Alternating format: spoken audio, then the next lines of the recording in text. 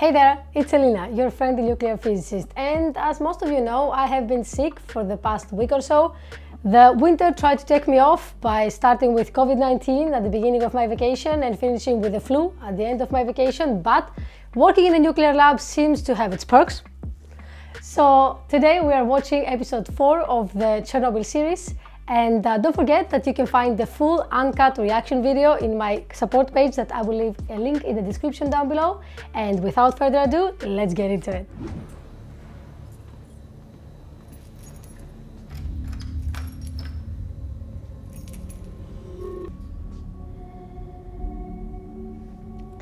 If I was in her place being pregnant, I would live further away.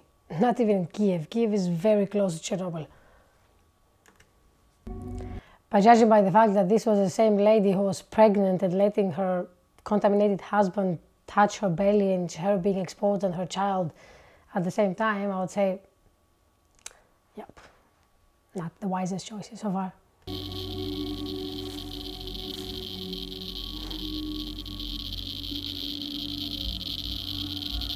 So basically what they were doing here is they were scanning the whole land by foot and splitting the land in areas like maybe with numbers or some other kind of, I don't know, uh, system that they would understand uh, what the piece of land is and where is it located.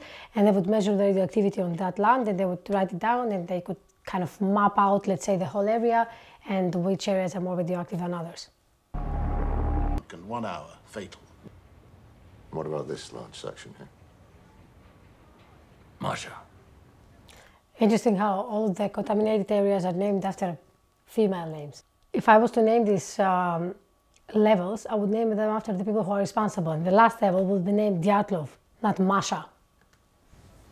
12,000 Röntgen.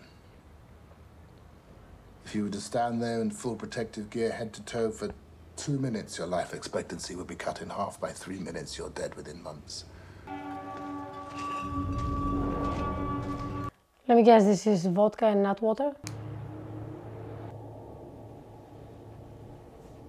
She's still at it, still searching for the truth. I like it. Yes?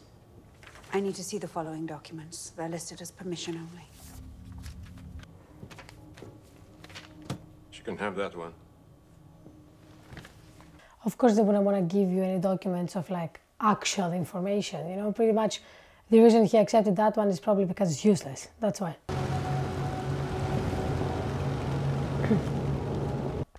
so here basically I would assume that these are crops like all sorts of vegetables that people were farming before the explosion and uh, of course they might be contaminated because it's soil and radiation has fallen there especially if it's nearby the explosion. So what I would assume that they are doing is what uh, Legasov said in the previous episode. So they're basically digging up everything and burying it under the ground again. So the contaminated area is kind of buried and let's say fresh soil will come up and hopefully be ready to be used again. All clear? Bring up the cameras. To think that's what we put on the moon. I'm not that one. I know, not that one. See, your condition has improved, Comrade Dyatlov. No, She really leave. came back. I need your help. Suggest otherwise. If the secrets are, you know, deadly for humankind, probably yes, you should suggest otherwise. You made a mistake. They didn't redact the table of contents. The missing pages apparently refer to a positive void coefficient and AZ5. I have no idea what would have gone here. Void coefficients have nothing to do with AZ5. There, now you can go.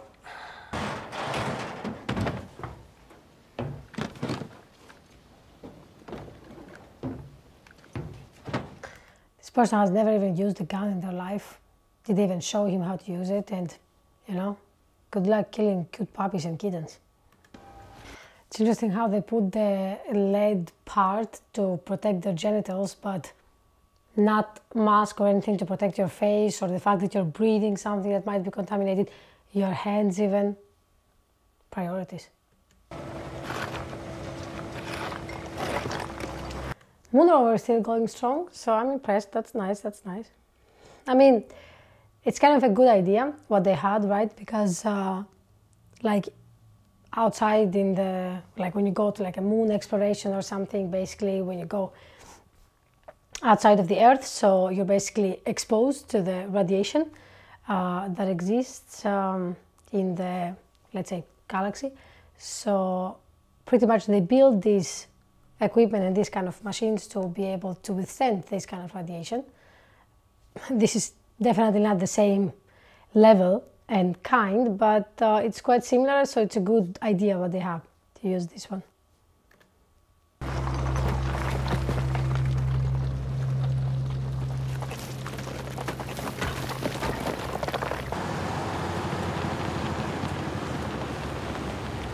Let's see that fancy German robot that is supposed to save us all from Chernobyl.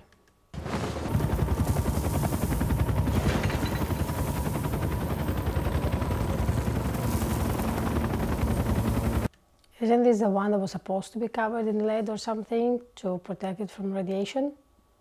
Because it's very much exposed right now. I'm not sure how good and efficient it's gonna be. Reverse one. And it's done. Did you lose the signal?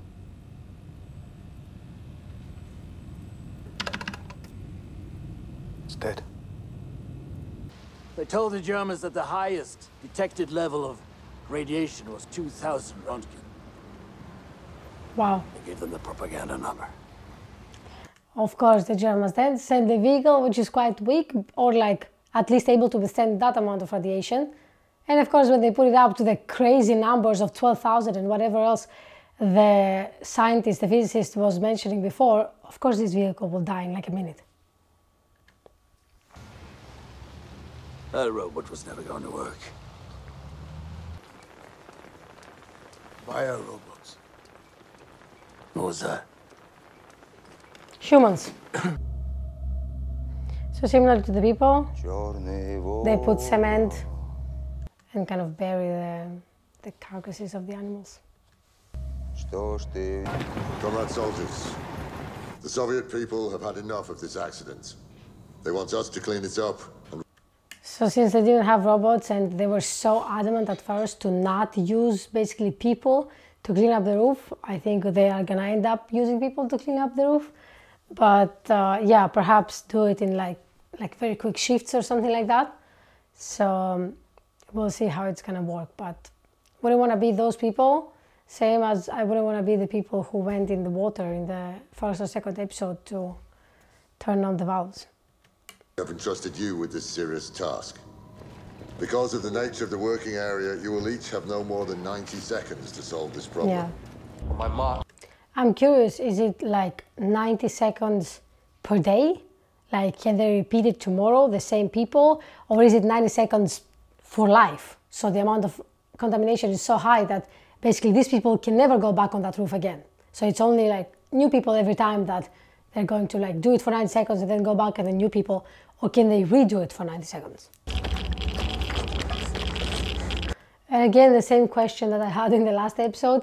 Is the is the detector for radiation sound is it just there for the effect for us to understand that it's a scary situation? Or do they really strap a geiger detector on them which if yes i don't understand why. You already know the radiation is there the, what that is there. And even if you don't know you can measure it you don't need to strap it on the person so it's even heavier if they only have 90 seconds to do the job and third of all no matter the limit of radiation they're still to do it right they still have to do it so it's a little bit pointless in my opinion, except if it's just there for the sound effects and for us to be like, okay, we understand that this is a dangerous territory.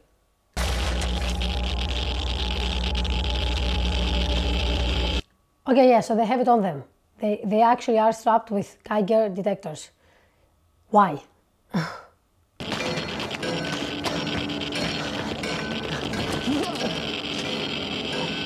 My god, his whole like leg, front leg, went inside that piece of graphite, which is a little bit like cylindrical. So he fell on that. No good.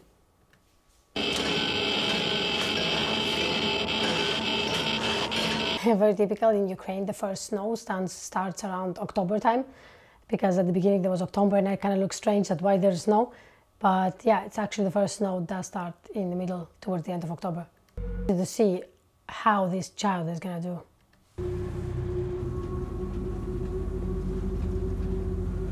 Sorry for all this. We needed to speak to you somewhere without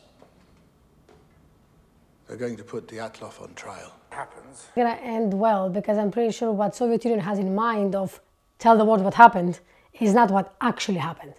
Judging from the fact that they said to the Germans that the level of radiation was much lower than it actually was, and they sent that useless robot that actually shut down after a minute or so. It's interesting for me uh, how history repeats itself. Very typical scene here, as we have seen in other kind of uh, scientific discoveries and uh, proofs over the past. How basically there's this one person who uncovers the truth and they take all the credit and they're like, "Oh my God, you're so smart! You're the one who did everything," even though there was her who basically constructed the timeline, went, did the interview, talked, thought about the physics, the science, everything, made the whole plan itself, but he would be the one to present it simply because he is a man. Because they would never invite her to Vienna to talk, right? She's not credible enough because she's a woman scientist. guilty. Yes. Under normal circumstances, the Chernobyl staff stalled the reactor during the test. They pulled almost all the control rods out to bring the power back up. This is what.